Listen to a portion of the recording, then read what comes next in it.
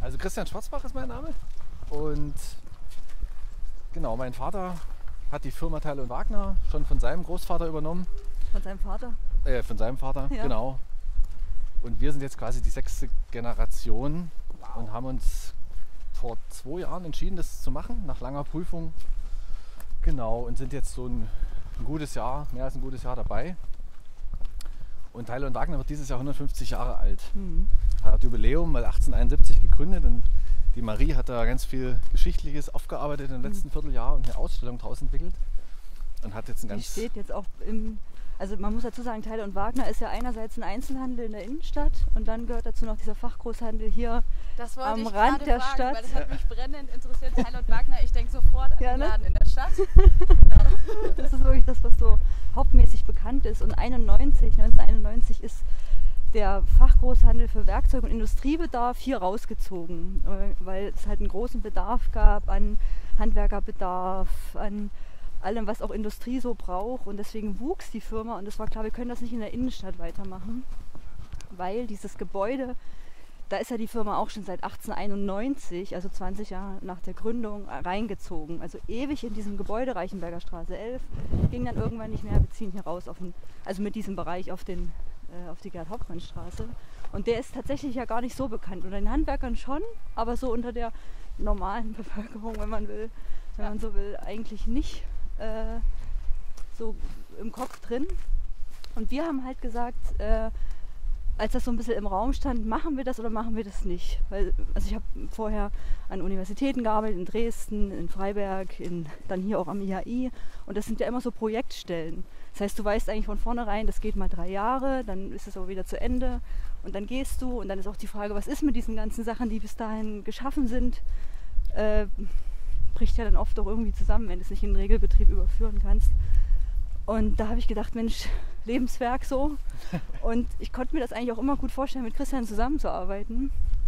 Äh, was, vielleicht habe ich auch noch so überlegt, woran liegt das? Äh, ich war nach der 10. Klasse ein Jahr in den USA und da habe ich bei einem Ehepaar gelebt. Also da hatte ich mehrere Gastfamilien, aber die letzte dann. Äh, und die haben einen Bauernhof gehabt und waren damals schon fast 50 Jahre verheiratet und auch fast so lange hatten sie diese Farm zusammen.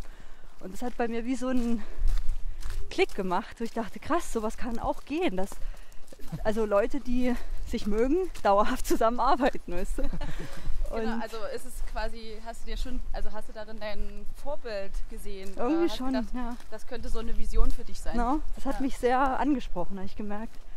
Und dann war eben die Frage, wie, wie geht es jetzt weiter? Christian hatte beim Kinderschutzbund ja gearbeitet, auch zehn Jahre am Ende. Äh, und da haben wir gedacht, wollen wir nochmal so was ganz anderes machen? Wir kommen beide aus dem sozialen Bereich oder eben aus diesem Wissenschaft, jetzt nicht unbedingt aus der Wirtschaft. Äh, aber es hat sich dann, Und dann seid ihr ins kalte Wasser gehüpft. aber absolut. Genau, genau. Und das ist ja auch eigentlich äh, eine schöne Geschichte, wenn man das nicht alleine machen muss, sondern wenn man zu zweit ist, ja, oder? absolut. Also ich habe gesagt, wenn wir es machen, dann will ich es auf alle Fälle erstmal zusammen machen. Hm. Und du hast es auch so gesehen, ne? No. Genau.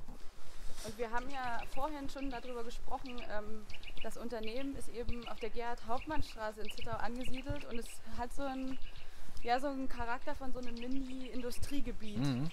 Ähm, wie ist das? Also was spürt ihr davon? Von, Gibt es so eine Stimmung, so eine Arbeitsstimmung, dass man das Gefühl hat, okay, die Unternehmen, die dort irgendwie angesiedelt sind, du hattest das vor uns als Mischgebiet, Ja. so Wohnen und Arbeiten erlebt oder deklariert, genau. Ähm, Gibt es da für euch so Verbindungen auch zu den Unternehmen, die dort arbeiten? Oder Naja, wenn ich in, früh mit dem Fahrrad komme, dann fahre ich ja an, den, an der alten Fabrikhalle da vorbei, die jetzt leider leer steht, aber dann kommt ja schon Haflat, so Industriegebiet, und da ist halt immer, siehst halt den Schichtbetrieb und wie die Leute früh ein- aussteigen und das ist schon mal ganz cool. Und dann hat man ja hinten das Phänomen und dann dieses kleinere, wo diese kleineren Gewerke da hinten so sind, das sind Freunde von uns, die haben dort eine, eine Werkstatt, ne? Hm.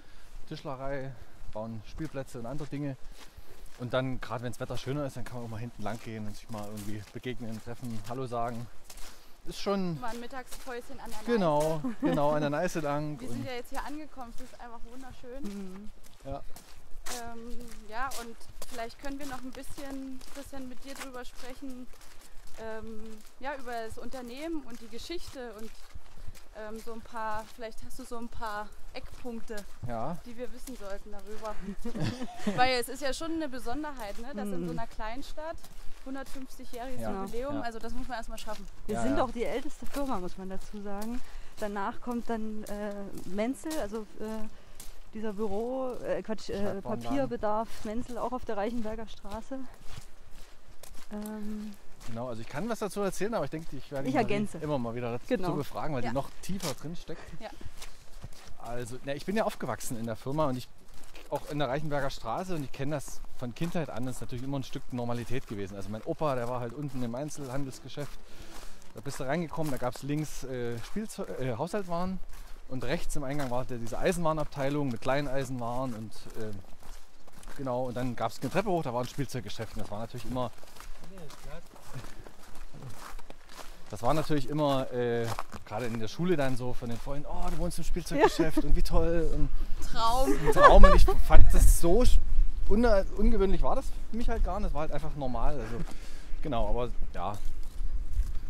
Und da habe ich halt auch Kindheitserinnerungen dran, wie noch so das alte Pult da war, blau angemalt, wie mein Opa da im, im, im, im blauen Kittel steht und Ja. so.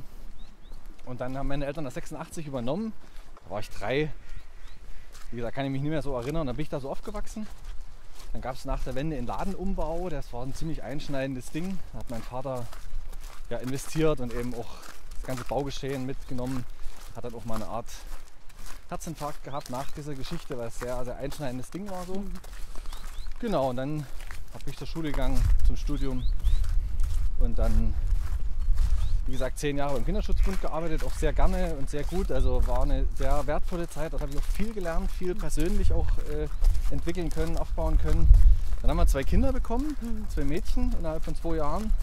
Das war nochmal eine Zäsur so persönlich und da war dann so die Frage, okay, ja, vom Alter her wollen wir nochmal was ganz anderes machen und dann war es eher so, ja, die Firma, mein Vater hatte so ein Alter, hat dann auch schon mal öffentlich gesagt, okay, er sucht jemanden, der nachfolgt. Ich wusste, dass es intern schon mal Versuche gab, jemanden zu finden. Es hatte so geklappt. Und dann haben wir gesagt, komm, wir wollen mal uns nicht später sagen, wir haben jetzt hier so eine 150-jährige Firmengeschichte einfach an uns vorbeigehen lassen, ohne dass es interessiert. Wir prüfen das zumindest mal. Aber ich meine, mit Soziologiestudium und Kommunikationswissenschaft wird die Wahrscheinlichkeit, dass das was für uns ist, relativ gering sein. Da sind wir halt zur IHK gegangen und zu Unternehmensberatern und dann war überall so. Also ich habe immer erwartet, dass jemand sagt, Leute, vergesst es mit den Qualifikationen und mit eurer Biografie und Lebenslauf, lasst es sein. Aber es war immer so, ja, interessant und die und die Möglichkeiten gäbe es. Das und das müsste man für sich prüfen, da und da muss man nochmal genau hingucken, aber so grundsätzlich, da haben wir Schritt für Schritt eigentlich Mut gefasst und dann haben wir miteinander viel gesprochen und so. Auch mit deinen Eltern. Es war immer eigentlich klar, dieses, wenn das scheitert, dann nicht an den Qualifikationen oder an den Kompetenzen, sondern eher am Zwischenmenschlichen. Deswegen auch immer der Tipp, der so zu uns kam, behaltet einfach gut Kontakt miteinander, dass ihr als vier Leute, die das Ganze machen wollen, ja zusammen die Übergabe, dass ihr eng miteinander zusammenarbeitet. Und das hatte uns Aber dann spielen euch ja eure Ja, eben, das kommt wirklich eigentlich wieder Richtig, hinein, richtig. Und das ist auch so, genau. Ich habe ja dann noch äh, so eine Coaching-Ausbildung gemacht äh, während der Zeit im Kinderschutzbund. Das war nochmal so eine ganz wertvolle Sache. Aber auch die Sachen, die ich vorher gelernt habe. Also dieses geschlechtsbewusste Arbeiten, was ich gemacht habe, wo ich mit Kolleginnen da zusammen im Team gearbeitet habe. Das war so viel ähm, Entwicklung, Reflexion, Verstehen, die Zusammenhänge sind, Perspektivwechsel und so. Das ist, Ja. kann ich jetzt unheimlich davon profitieren, ja. genau. Ja, und manchmal ist es ja irgendwie das Schöne, wenn man so zurückblickt, dann macht das ja alles auf einmal Sinn. Ja, ja, genau, genau. Ja, so hört sich das bei euch auch an. genau. Ähm, was ich irgendwie noch spannend finde, ist dieser Punkt äh, der Innovation, ne? weil wenn wir, Ja. wir sind in einer Kleinstadt Ja. und wir reden über ein, Inno äh, ein Unternehmen, was es jetzt eben 150 Jahre gibt, Mhm. ähm, da gibt es ja einfach auch viele Brocken, die man irgendwie mitschleppt, Mhm. Bewusst oder unbewusst. Mhm. Und dann gibt es viele Dinge, wenn man neu reingeht in so ein Unternehmen an eurer Stelle, kann ich mir vorstellen, Ja. so dass euch natürlich mit eurem frischen Blick auch gleich auffällt, okay, das und das muss unbedingt anders werden. Oder man hat so ganz konkrete Visionen und kollidiert das manchmal mit dem Alten, was noch da ist? Ja. das kann man gar nicht anders sagen, ja. Ähm, Ja, es kollidiert aber nicht insofern, dass dann ein riesen Schaden oder ein Unfall da ist, der nicht mehr reparabel Nee. ist, sondern es kollidiert halt schon Werte, Weltbilder, Vorstellungen so. Ja. Aber was wir halt von Anfang an auch gewusst haben, ist ja dieses so nicht zu schnell Ja. alles ändern. Na, Das haben wir auch schon beherzigt, haben aber gleich gesagt, okay, wenn wir neu anfangen, dann müssen wir unsere Mitarbeiter auch gut mitnehmen, das ist uns wichtig.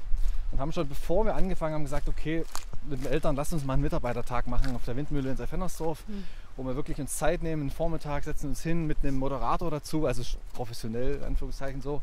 Das war schon eine Irritation so Ja. für viele, weil diese Kultur so gab es in der Form bisher nie. Ja. Hat sich aber als sehr gut rausgestellt, das haben wir dann ein Jahr später wiederholt. Äh, Das ist ja auch wieder das Spannende, ne? weil im sozialen Sektor, wenn man da arbeitet, ist es ganz normal, dass man Ja. Supervision hat Mhm. und Richtig. solche Gatherings, ne? wo man einfach zusammenkommt, mindestens einmal jährlich und Ja. sich austauscht. Genau. Ne? Und das fehlt ja in einigen kleinen Unternehmen noch. genau. Also genau, ja, finde ich spannend. Und aber die, ähm, die Menschen, die bei uns da arbeiten, die, die sind ja das Wertvolle. Die sind ja die, die die Arbeit machen, die das Geld verdienen, die die Beziehung zu den Kunden haben. na, Und das ist ja letztendlich der Punkt, äh, den wir, also die Beziehung zu den Kunden, aber auch die Beziehung zu den Mitarbeitern, das ist ja das, was wir unbedingt erhalten, weitertragen na. Wollen und müssen. Gerade weil wir, das muss man vielleicht nochmal ergänzen, wir, wir konzentrieren uns eben in dieser Nachfolge auf diesen Fachgroßhandel. Also wir werden nicht den Einzelhandel übernehmen, sondern den äh, Fachgroßhandel, also wo wir jetzt gerade waren. ja. Äh, und da haben wir ja inhaltlich nicht wirklich Ahnung. Also klar ist da jetzt bei dir vor allem in diesen anderthalb Jahren jetzt auch viel gewachsen und so, aber das sind ja, das sind ja Leute, die einfach wirklich vom Fach sind, die Mitarbeiter, weißt Und du? vielleicht ist das die Chance, ne? Das dass man sich dann wirklich, ne? wirklich ähm, nicht mehr in diesen Hierarchien Mhm. in dem Sinne begegnet, sondern eher so auf Augenhöhe und jeder mit seiner Expertise so auch wahrgenommen Genau. werden Genau. muss, ja zwangsläufig. Auf jeden Genau. Fall. Und wir auch, tro trotzdem, dass wir das, was ich gerade beschrieben habe, gemacht haben, sind wir auch ein Stück Irrweg oder Umweg gegangen, wo wir dann doch irgendwie jetzt gerade durch Corona, äh, wo, ne, wo es die neuen Auflagen gab, wo du ständig irgendwie kurzfristig auch mal gucken musstest, haben wir doch auch wieder bei uns im Büro gesessen und miteinander geredet, haben dann irgendwas eingeführt, haben nach drei Wochen gemerkt, Quatsch, wir hätten eigentlich die Mitarbeiter Ja. zumindest fragen sollen, mitnehmen sollen, hören sollen, was sie dazu denken. Mal haben wir dann eine Rolle rückwärts gemacht und gesagt, okay, war übers Ziel hinausgeschossen, machen wir nochmal neu. Ja. Also das, aber ja, ich denke, das muss man halt. Ja, dieses in Beziehung halt sein. Und das ist wirklich, was du sagst, ein Vorteil, würde ich sagen. Äh, dass, dass wir das viel auch schon mehr üben konnten in, in, in der, während des Studiums und in, in den ersten Jobs und so, weißt du? Ja. Das ist Genau. eben nicht von oben herab Hierarchie, sondern das ist für euch herausfordernd, ja, aber wir müssen das hier gemeinsam machen, weil sonst brauchen wir es gar nicht machen, gell? Also, Und wie ist das? Ähm, ist es auch so, dass das ähm, in eurem Unternehmen einfach eine Rolle spielt, dass ihr immer wieder auch Nachwuchs braucht? Also bildet ihr auch aus oder? Thailand Wagner hat ausgebildet, äh, aktuell gerade nicht, aber für mich ist es eine Sache, die mit auf der Agenda so steht, dass wir uns dort wieder hin entwickeln wollen, äh, wirklich selber auszubilden, eigenen Nachwuchs ranzuziehen, weil es ist natürlich ein Krisenthema. Äh, wir haben ein relativ hohes Durchschnittsalter, kann man sagen. Und das ist auch eine Baustelle, wo man in den nächsten Jahren wird es darum gehen, wieder neue Fachkräfte zu gewinnen, hm, jeden zu gucken, dass man gute Nachfolgeregelungen findet, Ja. die Leute genau reinwachsen können. Und da ist Ausbildung auf jeden Fall ein Element, wo ich mich auch schon informiert habe, aber aktuell gerade merke, okay, die Baustellen sind so viele. Ähm, Alles Ist Schritt für Schritt. Alles Schritt für Schritt und wir haben jetzt eine Praktikantin dann bald mal. Fangen wir mal klein an so. Ja, genau, gut. und wenn wir in zwei, drei Jahren dann mal einen ersten Auszubildenden haben, wäre das ein super Ziel oder ist das ein super Ziel? Genau. Darf ich nochmal nachfragen? Ich weiß nicht, ob ich verpasst habe. Wie lange ähm, seid ihr jetzt in dem Unternehmen? Also habt ich ihr- seit September letztes Jahr, 2020, äh, weil da erst war dann die Elternzeit zu Ende mit unserer zweiten Tochter.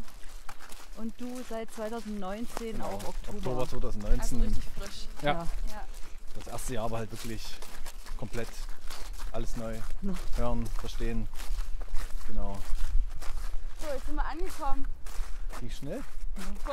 Ich glaube, wir sind gerannt. war doch schneller als alle anderen. Aber das hilft auch, oder? Irgendwie laufen hilft beim Reden, Ja. merke ich. Jetzt sind wir angekommen und es ist äh, irgendwie so spannend, weil ich hatte jetzt mit einer Freundin, die Journalistin, die schreibt für die Zeit im Osten, hatten wir erst äh, über diesen Dreiländerpunkt wieder gesprochen. So, Mhm. was haltet ihr von dem? Wenn ihr den so seht, weil ich finde, Ja, sie hat ja ein bisschen, ich habe, äh, wir haben diesen Artikel ja auch gelesen, weil irgendwie kam der so über Ja. Social Media rein und sie schreibt, ja, es ist so unspektakulär, Ja, genau. gell? Er ist einfach nur da, der, der. Ort hier und du siehst die Flaggen, aber sonst würdest du es jetzt nicht ahnen, dass hier drei Länder aufeinandertreffen. Genau, und irgendwie finde ich, spricht so für sich, weil das hat ja auch irgendwie so was Grundsolides, ne? Also es ist so unaufgeregt und irgendwie, es ist aber irgendwie markiert. Mhm. Und trotzdem sprechen wir ja auch immer wieder über diese Brücke, ne? die ja Mhm. endlich mal irgendwie gebaut werden soll. Mhm. Und es gibt ja einfach so gerade einfach politisch gesehen einfach so viele Schwierigkeiten da, ne? Mhm. das voranzutreiben. Deswegen hält das ja so ewig. Hm. Da gab es ja auch schon voll viele Ideen, einfach mal so eine Brücke rüber zu bauen. Mhm. Einfach aus irgendwas, aus Ja. Holzbrettern oder Ja. irgendwas. So von wegen, wir kümmern uns jetzt. Ja, ja, genau. Vielleicht ist das ein Ansatz. Aber ähm, ja, spielt das für euch eine Rolle, das Dreiländereck? Also lebt ihr das? Oder vielleicht auch so, hat das noch mal, gibt es nochmal einen Unterschied zwischen privaten Alltag Mhm. und beruflichen? Mhm. Das ist eine gute Frage. Ne? Ja, ich glaube, wir sind jetzt vielleicht ein bisschen widersprüchlich so. Also ich bin halt aufgewachsen so und habe das dann bei Freunden gemerkt, die halt durchaus mit Großeltern zum Wandern rübergefahren sind, für die das noch normaler war. Ich bin so ein bisschen aufgewachsen so, ja, wir sind hier in Deutschland und keine Ahnung, hatte nie so Bezüge darüber, so alltäglich so. Und dann gab es halt diese die Grenzöffnung, weil Frau Merkel da war, 2006, 2007 irgendwie so, genau. Und dann habe ich aber heute noch, steckt das so in mir drin, dieses so, dass ich so ein bisschen, naja, fast ängstlich oder so. Aber was, was mir klar ist, ist total irrational, aber es sind solche Geschichten, wie wenn ich jetzt mit dem Auto rüberfahre und ich habe dann einen Unfall. Um Gottes Willen, was passiert denn dann und so. Es ist Quatsch, weil es muss wahrscheinlich einfach mal passieren, damit man das dann irgendwie durch hat. Aber das sind so Dinge, die habe ich, glaube ich, schon ein Stück übernommen von, aus der Kindheit so. Und gleichzeitig äh, Wir haben ja auch finde ich, Freunde. Also Ja. Ein Freund zum Beispiel, der in Prag wohnt und arbeitet. genau, und da, Und dort auch gewesen, eine alte besucht. Kollegin aus Liberec und so. Ne? Genau, du hast Arbeitskolleginnen beim Ja. IHI, habt da auch Begegnungen gehabt, ne, wart wandern drüben und so, Ja, für dich ist es genau. vielleicht nochmal ein bisschen anders. Ja. Naja, Und Aber manchmal ist es ja auch dieser Punkt, ne, dass es äh, einem so normal vorkommt, dass man es gar nicht registriert, wo Mhm. überhaupt eigentlich diese Schnittstellen Mhm. sind. Ne? Mhm. Also darüber haben wir auch äh, so nachgedacht, dass man das manchmal gar nicht mehr so re richtig registriert. nee, das, das stimmt. wie, Also- wie meinst du das? Naja, dass zum Beispiel eben, wir laufen jetzt so ganz selbstverständlich hier so an der Grenze lang, Mhm. weil es ist halt für uns normal. Es ist für Ja. uns normal, irgendwie an einer. Grenzstadt zu, zu Ja, leben. so, ja. ne?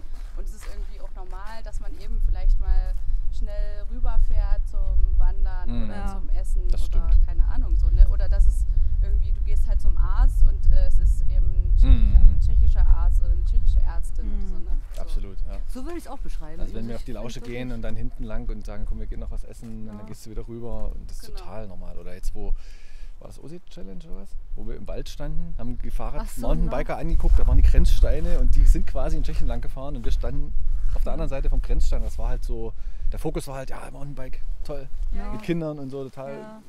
abenteuerlich und da war halt eigentlich diese Grenze, halt nimmst du gar nicht wahr. Nee, so, genau. ja. Weil die Ja. so konstruiert ist. Ja. Oder auch im Kaufland oder so, ne? Dann läuft halt ein Tscheche neben dir. Oder aber ich, ich würde auch sagen, es ist. Ja. Ich denke da jetzt nicht so groß drüber Nee, nach. genau, ja. ne? Spannend. Mhm. Und ähm, spielt das für eure Unternehmung eine Rolle? Also Also Ja. perspektivisch auf jeden Fall, weil ich finde es zum Beispiel extrem mutmachend und hoffnungsvoll, so dieses, was, ja, was unser Bürgermeister so macht, so dieses so als Mittelpunkt von Europa das zu sehen und dieses hat ja auch irgendwie drüben gewohnt mal eine Woche und so, also dieses wirklich weg von diesem, wie ich auch geprägt bin, so dieses, wir haben so dieses Drittel irgendwie, sondern wirklich hin zu diesem, zu diesem offenen und man, wie gesagt, wir haben ja auch Freunde, fällt mir gerade ein, äh, Mhm. die aus Tschechien kommen, aber Häuser in Zittau zum Beispiel haben, Mhm. wo die Kinder mit dem Kindergarten sind. Also wir haben ganz viel alltägliche Begegnungen. Der Freund, der in Prag wohnt und so. Mhm. Und es ist halt total irgendwie komisch zu sagen, gerade Liberec ist ein riesen Wirtschaftsraum. Das Ja. dorthin wollen wir uns perspektivisch sicherlich öffnen. Also das ist Mhm. mir klar. Wir hatten doch schon mal Kontakt mit einer jungen Frau, die so eine ähm, Ja, Beratung, die Wirtschaftsberatung macht, trinational, genau. Teil das ist aber dann in Zittau angesiedelt oder? Es gab ja mal, äh, also Teilung Wagner hatte eine Dependance quasi, eine Filiale. Filiale. Genau, und äh, also in Radek war das, äh, das 21, 1921 äh, dort quasi eröffnet und dann Weltwirtschaftskrise und so weiter nach ein paar Jahren musste das leider wieder schließen, aber das heißt, wir haben quasi da schon zumindest in dem, wie nennt man das, in der Firmengeschichte, in dem Kognit also in dem Gedächtnis der Firma ist das Ist schon das. drin, Mhm. also Ja. angelegt dann auch. Äh, Spannend, Ja, Äh, dass man das einfach auch vielleicht wieder aufgreift. genau, Ja, genau. Diesen genau. Faden einfach. äh, ja, ich denke mal, das Erste wäre, dass man jemanden einstellt, der Genau, Tscheche so ist, der, genau, der die Kultur versteht und dann guckt, wie sich das entwickelt. So. Mhm. Aber da wäre ich auch relativ offen. Aber ich denke, das muss man mit in den Blick nehmen. So. Mhm. Und nach eurer jungen ersten Unternehmerzeit ähm, würde mich irgendwie nochmal interessieren, gibt es da schon Dinge, die sich so zeigen, wo ihr merkt, hey, Zittau, das ist schon auch ein bisschen eine Herausforderung hier, so eine Unternehmung zu führen und weiter oder weiterzuführen vor allem? Also spielt der Standort eine Rolle? Ist er für euch von Vorteil? Auch eine gute Frage. Also, Hm. ich glaube, es kommt immer ein bisschen darauf an, mit wem man äh, zusammenarbeitet. Also eben wenn wir jetzt so IHK hatten oder so, das ist da ist eine große Offenheit da und auch eine große Würdigung auch der Geschichte und sagen, hey, wir packen es an, so dieser Geist von lass uns weitermachen, lass uns äh, Lösungen finden für die Probleme. Und dann hast du halt manchmal Leute, wo das halt nicht so ist, die dann eher so, das haben wir schon immer so gemacht oder mach doch nicht alles so kompliziert. So, also, weißt du, da dann so mit einer, in einer guten Art und Weise umzugehen. Gell? Jetzt nicht das irgendwie zu sagen, also ich mache es jetzt trotzdem, sondern das halt, also auch in einem, so einem Austausch da weiterzugehen. Ich meine, wir haben das ja auch zum Beispiel, ich denke jetzt auch gerade zum Beispiel an deine, deine Eltern, Hm. die ja auch ganz anders geprägt sind. Gell? Die kommen vom, also haben natürlich auch noch die DDR-Zeit so im Kopf, wo es ja eine ganz andere, also da musstest du dir, da war eher das wahre Beschaffen ein Problem, als es dann loszuwerden. Heute ist es genau andersrum. Und wenn wir halt jetzt sagen, wir wollen nach außen gehen, wir wollen, dass Leute wissen, dass wir diese Nachfolge machen, wir wollen, dass Leute wissen, dass die Firma 150 Jahre alt wird und dass es für Zukunft steht, dann befremdet das meine Schwiegereltern manchmal vielleicht ein bisschen, weil die sagen, na ja, wir wollen ja uns auch jetzt hier nicht so darstellen, als wenn wir irgendwas Besseres wären. Aber darum geht es ja gar nicht, sondern eher so, tu Gutes und rede drüber, gell? Also, Und das finde ich aber, das ist ja wirklich eine Generationsthematik. Ja, so, auf ne? jeden Weil Fall. ich kenne kenn das genau, diese Erfahrung, die Mhm. du da beschreibst, ne? das Mhm. kenne ich auch, weil meine Familie ist auch eine Unternehmerfamilie Mhm. und da ist auch genau dieser gleiche Gedanke so, ist es nicht zu viel? So, wir sind schon, Mhm. wir sind schon stolz auf das, was wir geschaffen haben Mhm. und es ist denen total klar, ne, wie viel Wert das eigentlich hat für so eine Region. Und trotzdem ist es immer noch so, na nicht,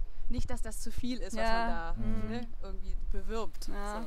Obwohl, mir, obwohl mir das ja nie nur so aus, also ja, aus kulturellen oder so Sachen heraus machen. Es gibt natürlich auch eine Konkurrenz. So. Mhm. Das Ja, ist absolut. Fakt. Ja. Ne? Es gibt einfach äh, ähm, andere Betriebe, die eben auch Gas geben. Ja. Ob das jetzt mit Digitalisierung und Online ist oder ob das mit Außendienst ist oder mit Werbung oder so. Also Mhm. da, da ist, da müsst, also ich finde das. Alleine, wo du sagst, ich wusste gar nicht, dass es das das spricht ja auch Genau. wieder dafür, gell? Also ich mache das Das- gerne so, wie wir es machen, aber es ist jetzt nicht nur so, ähm, das ist halt meine Art, sondern es gibt schon auch einen realen Konkurrenzdruck, der, den ich momentan noch sehr sportlich sehe, so. Also der mir jetzt keine Angst macht oder so, aber gleichzeitig ist schon klar, ich glaube, wenn wir jetzt nie durchstarten Mhm. würden, würden eben andere kommen und einfach das übernehmen, den- das Mhm. Marktsegment so. Mhm. Und deswegen macht es auch Spaß, da durchzustarten, weil es ohne reale, einen realen Wettbewerb oder so gibt. Das Ja. nicht bloß so hobbymäßig ist. So. Genau.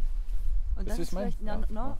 Was, wenn du auch sagst, na, wie würdet ihr das wahrnehmen jetzt so als junge Unternehmer, da fällt mir noch dazu ein, dass halt gerade weil wir so ja nah auch mit deinen Eltern sind oder auch jetzt mehr und mehr unser Arbeiten auch mit den Mitarbeitern eine gewisse Nähe und Vertrauenssäule aufzubauen, geht halt vieles auch schneller, auch wenn der Widerstand vielleicht manchmal ein anderer ist, äh, als das, gut, bei dir war es vielleicht noch im Kinderschutzbund an- anders, aber wenn ich jetzt vorher an Universitäten gearbeitet habe, da, da ist jetzt nicht so viel Innovation möglich. Also vielleicht schon, aber nicht, also da, wir reden ja wirklich von riesigen Kolossen an Verwaltung und an äh, gewachsenen Strukturen, die kannst du nicht einfach mit einer guten Idee äh, ändern. Gell? Also, und da ist es, finde ich, manchmal jetzt von Vorteil, dass wir halt weniger Leute sind.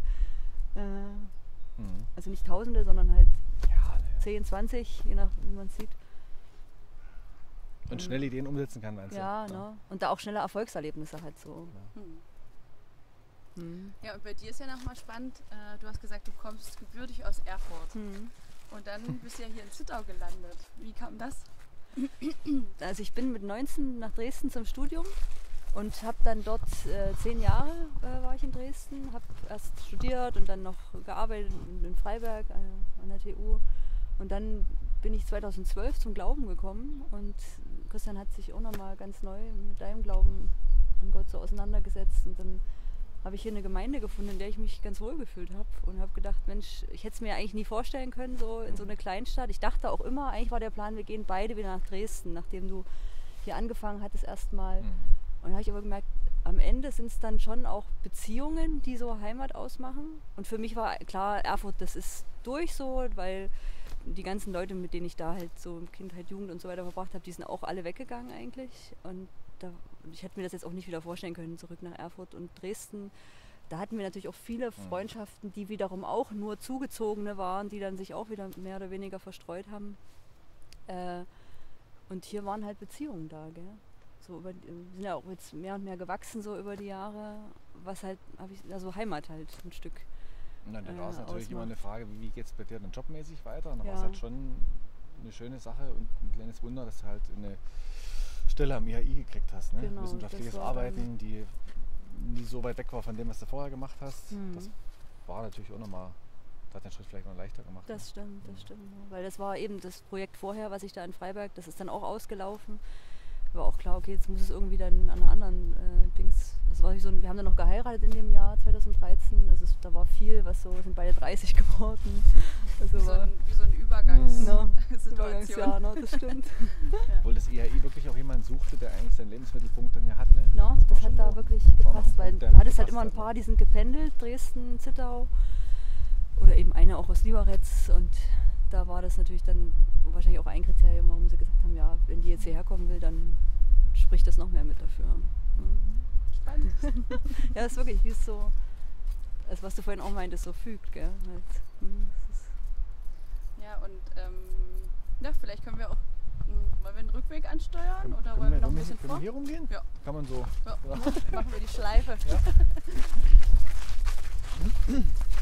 Kalt, ne? Oder? Ja, jetzt lange. wir sind ja schon so ein bisschen erprobt. Wo Ja. stammst, wo stammst denn du her? Ich bin auch aus Zittau. Ach so, ne? Ich war zehn Jahre weg Ja. und bin, ja genau, vor drei Jahren, glaube ich, wiedergekommen. Aha. Ja. Genau, habe erst in der Niederschule gearbeitet, im Kinderschutz wohnt jetzt. Mhm. mhm. Und genau, nebenbei habe ich dann letztes Jahr den Entschluss gefasst, dass ich eben auch gerne selbstständig machen möchte. Vielleicht nimmt man das mit im Blut, keine Ja, Ahnung. ja, ja. Ich habe das jetzt bei Insta so ein bisschen rausgehört Genau, mit der, mit der Sophie Herwig, ne? genau. Ihr zusammen das gegründet oder? Ja, genau. Das Ferienwohnungsding oder? Genau, wir machen Ferienwohnungen und das ist eigentlich ganz spannend, weil mir ging es eigentlich nur darum, ich wollte immer Räume gestalten. Ja. Meine Eltern haben eine Raumausstattung. Ah. so. Genau. Und ich hatte Kunst studiert und dann dachte ich, oh, ich hätte halt einfach Lust hier eben loszulegen und Ja, Raumkonzepte zu machen und einzurichten und Geht das mit Großstädte und Mietstress und so? absolut. Aber- und aber hier- dann habe ich halt aber mich auch gefragt, ja, wie verdiene ich denn damit jetzt hier Geld? Wer braucht das hier? Ja, ja. Und irgendwann kam ich auf die Idee, ich gucke jetzt mal hier, was die Ferienunterkünfte so machen und Mhm. habe gemerkt, wow, es gibt glaube ich nur so Mhm. zwei Hände voll, wo ich selber Urlaub machen würde. Mhm. Ah, Ne? Und in dem Sinne habe ich dann so ein bisschen den Markt recherchiert dafür und dachte, okay, vielleicht mache ich einfach Ferienwohnungen. Ja, ja. Dann kann ich ganz viele Wohnungen einrichten und Ja. ähm, kann das irgendwie auch finanzieren. Und ja. genau, Sophie war auch im öffentlichen Dienst an der Hochschule, hatte keinen Bock mehr. Ah. Und dann haben wir gesagt, so, wir machen das jetzt. Ja. Und deswegen kann cool. ich das so ein bisschen nachvollziehen, dass alles, was ihr so erzählt, ne, so dieses Mut fassen, so einfach loszulegen und Mhm. dann auch eben mit der, also in der Familie, Mhm. irgendwie in so einer Unternehmung so, wie Mhm. kommuniziert man miteinander, mhm. wenn Ja. man so voller Tatendrang ist. genau. Ich habe gerade so ein aktuelles Beispiel, wo ich. Ah, ist wieder so ein Ding. Es kommt immer wieder. Ja. Dann geht es um unser Mahnwesen und so. Und eine Kollegin sagt, können wir das denn irgendwie ein bisschen verschlanken und ein bisschen so. Und ich sag, ich denke so, ja, los, lass uns das machen, das ist cool. So, aber ich weiß genau, mein Vater ist der Geschäftsführer, ich werde mich noch hinsetzen, mit ihm reden, das Ja. wird Zeit dauern. Das ist halt so. Aber ich merke das so, dieses Ah! genau, so, ne, das ist, packt einen irgendwo Ja. und man, man kämpft so ein bisschen mit der Ungeduld, also so Ja. ist es bei mir. Ja, ja. ja. Aber, Aber Aber jedenfalls, das, was ich gesehen habe, war super schön. Ich habe sofort den Gedanken gehabt, so, eigentlich müssten wir gleich mal dort irgendwie mal ein Wochenende in die Wohnung rein, ist so, weil Kinder irgendwie zur Oma geben. Und, und dann, weil das, Urlaub in der Heimat. ja, weil diese Kacheln, die da in der Küche waren, die so, so ein Muster hatten irgendwie. Ja. Das ist echt der Hammer, richtig cool. Ja, und dann. Keine Ahnung. Und ich glaube, ähm, das ist halt, also es braucht halt so diese Geschichten, ne, wie eure, die muss halt schon erzählt werden. Mhm. Also die müssen wirklich erzählt werden, weil ich denke, das motiviert auch andere, solche Schritte zu wagen. Ja. Ne? Und einfach auch gerade hier in solchen Regionen einfach so Fuß zu fassen und zu sagen, Mhm. hey, ich habe zwar keinen Plan davon, aber ich mache das jetzt Ja, einfach. ja. So. Und das, das stimmt, was du sagst, weil fällt mir gerade ein, ich hatte vor 14 Tagen so eine Phase, da hatte ich, war ich mal kurz richtig entmutigt so, weil alles irgendwie, das war irgendwie doof. Da ich gedacht, ey, ich, ich muss mal jetzt wieder mich mit Leuten aktiv treffen. Genau. Hat ein bisschen mit Corona zu tun, weil sonst würde man die auch so mal sehen. Mhm. Aber wo ich sage, das sind diese Leute, die mir diese Kraft geben. So, Ja. Ja. so Leute, die auch selber was machen, wo du dich hinsetzt. Ich war auch mal bei einem Unternehmer, ähm, bin ich mal so hingegangen mit einem Kollegen und der meinte dann beim Gehen auch so, ähm, wenn Sie mal irgendwie quatschen wollen oder so, dann rufen Sie mich an, schicken Sie eine E-Mail. Manchmal gibt es Sachen, die kann man bloß von Unternehmer zu Unternehmer. Also so, ich verstehe andere Leute nicht. Da habe ich damals so gedacht, cool, aber ich weiß gar nicht, was er meint. Aber ich glaube, das ist das Ding, weil du so, naja, klar, ne, wenn du irgendwie losgehst, dann gibt es natürlich ein paar Widerstände so. Und manchmal ist man einfach entmutigt und wenn dann jemand sagt, was auf, kenne ich, komm, mach weiter. Ja. Oder fa- fass das Thema so und so ein, wenn es gerade eine Weile ist und so. Und da, da gibt es schon auch ein paar Leute hier. Also Auf jeden Fall. genau, und das macht, das ist wichtig, glaube ich, dass man so. Ja, das ist das, was mir zum Beispiel viel Mut gemacht hat, war so mit äh, Zittau kann mehr und Kulturhauptstadtbewerbung, auch wenn die jetzt nie geworden ist, aber dieser Spirit von Ja. äh, nach vorne was entwickeln. Vielleicht geht es auch schief, vielleicht, nimmt es einen anderen Weg als geplant, aber Ja. so dieser, dieser Spirit von Leuten, die, und da, da brauche ich die noch nicht mal kennen. Na, Da, Ja, hilft, da hilft mir das schon, dass ich denke, Und da schwingt ja sowas mit, was irgendwie wirklich sich etablieren muss, nämlich diese, diese. Akzeptanz, Fehler zu machen. Ne? Also dass man einfach sich wagt und man geht rein in Prozesse mhm, und man möchte, also mit dem Ziel, das Beste rauszuholen, aber dass es auch scheitern darf. So. Ja. Und das Scheitern jetzt, und das ist halt das Schöne, ne, was du beschreibst, so, du warst in der 10. Klasse in den Staaten, Ja. hast du gesagt? Genau, also nach der Ich 10. weiß dann. nicht, wie weit du das mitbekommen hast, aber Es dieser, ist wirklich ganz anders. ne, dieser Ja. Spirit, also äh, als ich damals in den Staaten war, so, vor, das, vor ein paar Jahren, Ja. Und das ist auch das, was mich nochmal, es hat mir so diesen Kick gegeben, so, hey, ich mache jetzt los, was, ja, was habe ich denn immer für komische Beschränkungen in meinem Kopf? Ja. So, ne, oh nee, vielleicht gibt es noch jemanden, der das besser macht Ja. Mhm. Oder ne, so dieses, oh nee, vielleicht ist es nicht gut genug No, und no, ich no, muss no, noch ein no. bisschen mehr lernen und mehr üben. No. Dann kann ich das machen. Ja, ich weiß, ne? Ja. Genau. Und das ist wirklich ein anderer Geist, ein anderer Spirit, den du dort hast, das stimmt. Und ich glaube, deswegen ist es einfach auch schön, ne, wenn man so sich ein bisschen in der Welt bewegt und dann zurückkommt. Man hat ja einen ganzen Koffer voll Ja. voller Erfahrungen und irgendwie, ja, das macht schon Sinn, glaube ich, wenn hier auch was davon hängen bleibt. Ja. Einfach. Auf jeden Fall. ja, das ist ja das, was- was du auch gerade beschrieben hast, so dieses, wie, wie soll ich das sagen, aber so hier kann man, hier gibt es halt Möglichkeiten. Das war auch, also Ist- war ne? ja eine Frage, warum lebst du hier? Äh, da ist mir so beim drüber nachdenken äh, eingegangen, dass in Zittau habe ich das Gefühl, Zittau ist noch nicht so gesättigt ja, an Möglichkeiten, sondern hier ist eher dieses, wenn du es nicht machst, macht es keiner. Und das äh, öffnet ja Räume. Also in Dresden fand ich, da gab es halt irgendwie alles schon. Und wenn du irgendwas machen wolltest, gab es immer mindestens ein, eine Person, die es viel be- besser gemacht hat oder viel cooler. Und dann hätte mich das eher entmutigt. Und Erfurt ist natürlich ähnlich. Und hier ist halt, probier's halt und man connectet sich ja auch viel schneller mit anderen Leuten, weil es einfach kleiner ist und die Schar an derer, die was machen wollen, ist überschaubar und wiederum kennt, wenn du dann jemanden kennst, der kennt dann sofort jemanden, mit dem er dich zusammenbringen kann. Und dann erscheint mir das irgendwie viel einfacher möglich. Gell? Und das, und das passiert ja aber auch hier. Ne? Also jetzt bei der Ausstellung zum Beispiel, wo du Kontakt hattest mit dem Museum, Ne? wo du Kontakt hattest mit dem Archiv, Zentral, ne? ne? Genau.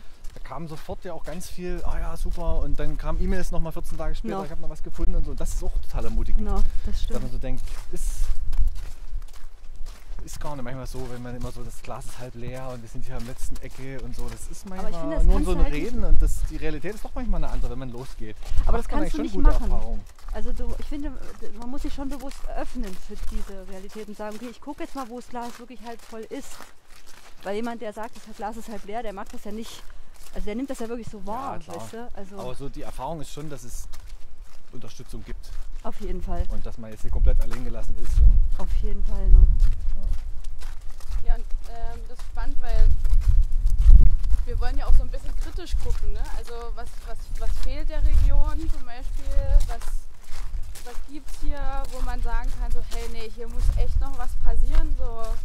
Und in den Interviewgesprächen, die wir bisher geführt haben, merke ich immer wieder, wir sind total gut eigentlich darin, die ganzen Ressourcen zu sehen und irgendwie zu sehen, so was alles klappt und irgendwie auch so schon so ein, ja, so, ein, so eine positive Einstellung zu der Region und zu dem Leben hier. Mhm. Und ähm, meistens sind es halt die Macherinnen und Macher, die diese Einstellung so mitbringen. Mhm. Aber ja, habt ihr so Themen, wo ihr merkt, so, hey, das regt euch tierisch auf oder das, ja, so, da, da gibt es irgendwie einen Bedarf drüber zu sprechen? Christian, sag doch mal.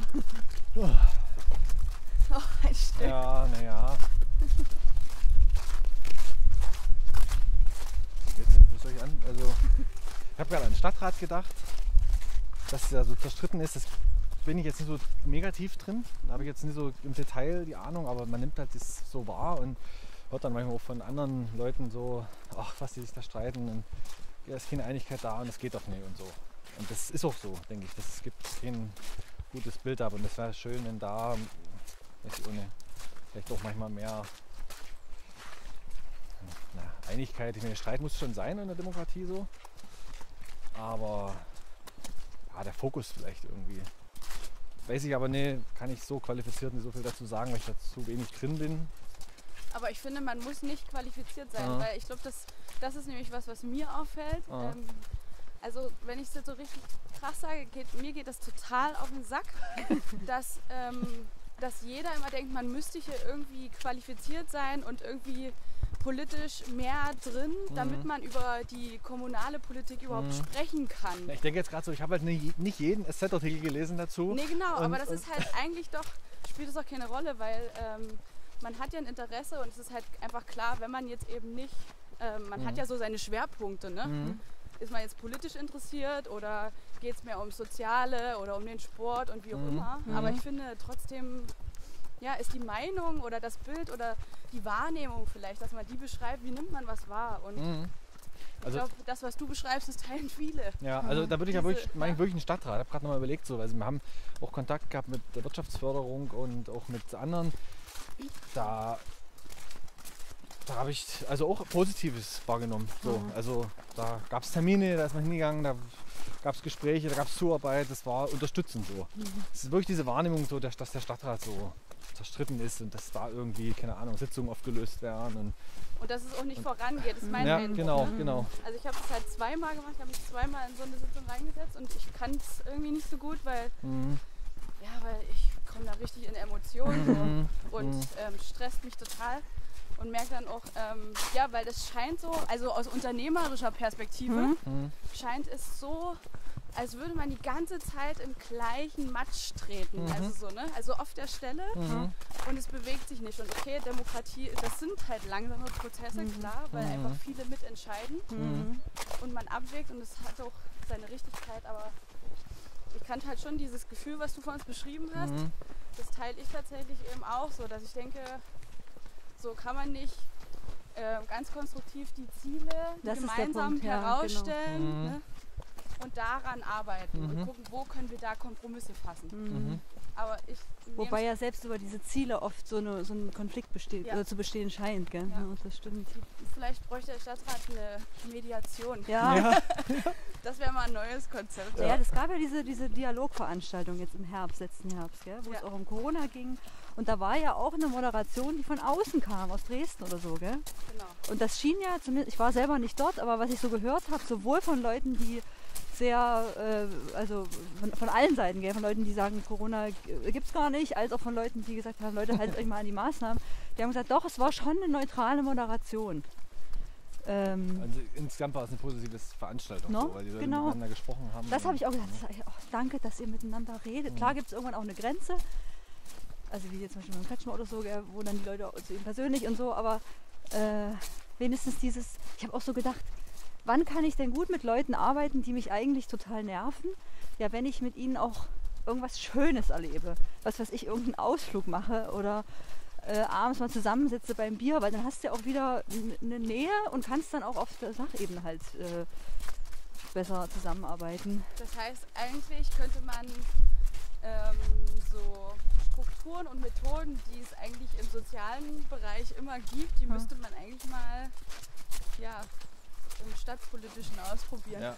Das wäre eigentlich genial. Es gibt da jetzt wieder so eine Initiative, ich glaube, für eine Art Jugendparlament oder so. Ja. Irgendwas. Vielleicht kommen daher auch nochmal irgendwie Impulse.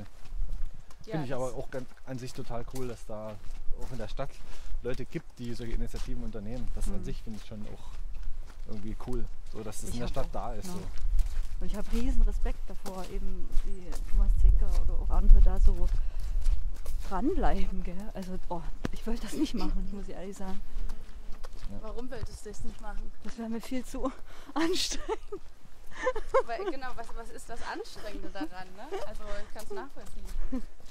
Naja, immer wieder aufeinander zugehen. Und, und auch wenn da sind ja wahrscheinlich auch persönliche Sachen dann passiert, oder das stelle ich mir zumindest so vor, wo man dann wirklich immer wieder da auch vergeben muss und weitergehen. Und weißt du, das ist schon. Wir hatten es jetzt im Haus, auch im Zuge von Corona, wo wir so uneins waren mit unseren Nachbarn.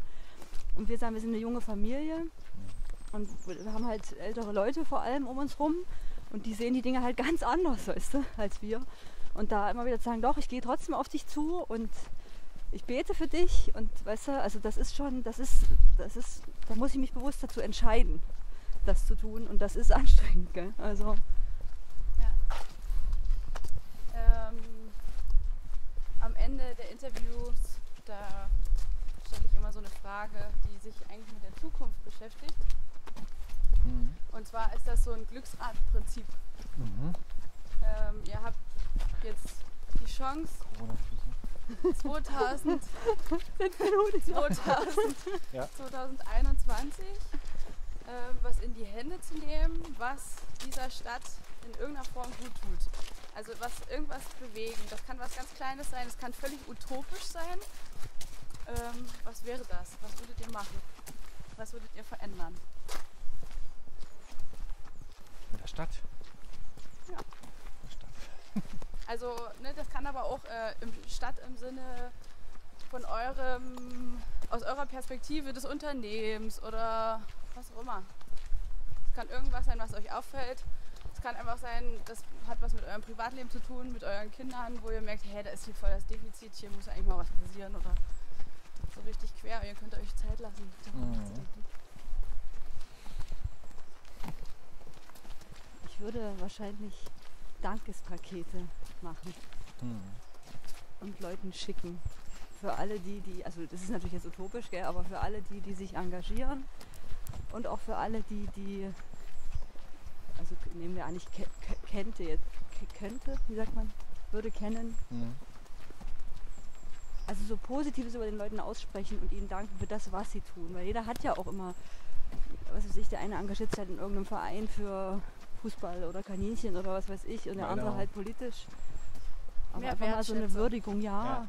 Und auch gucken, irgendwo gibt es ja immer was, gell? Also da halt auch bewusst hingucken. Cool, was wäre in diesen Paketen drin? Stelle ich mir gerade vor. Merci. Merci. Nee, ich, ähm, idealerweise wäre es natürlich was, was demjenigen wirklich was bedeuten würde. Äh, Gute Idee. Finde ich schön.